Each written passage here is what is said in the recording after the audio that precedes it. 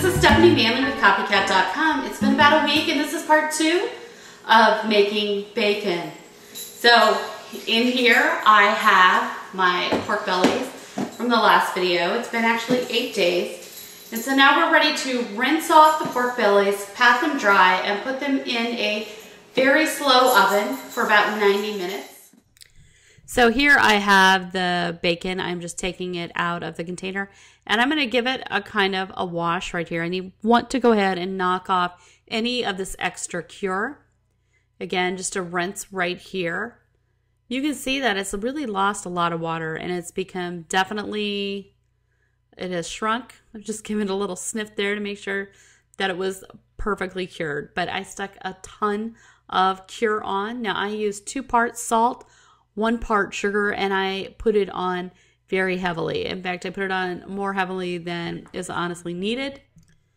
But I like to use a little bit of bacon to get some flavor, and this works very, very well for that purpose. I most often like to use this in with beans or cooking, and a little less for just frying up in a pan, enjoying for breakfast. I think it's a great way to really stretch a cut of meat. So in the oven it goes for about 90 minutes at about 200 degrees.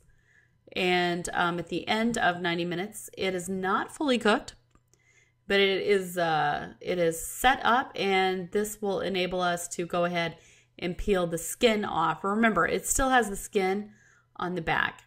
So what I like to do with this bacon is go ahead and process it by removing the skin and then chopping it up into smaller pieces and then using those smaller pieces to season, you know, beans or um, maybe some green beans, pinto beans, something like that.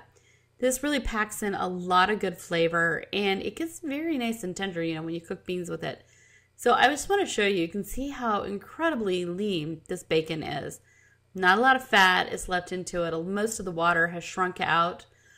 Since I did use pink salt in my cure, um, it still has a very nice color, a very pinkish color.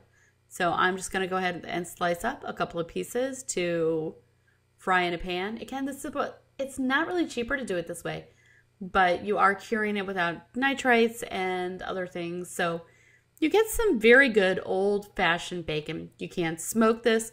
It was raining tonight, so I did not smoke any bacon.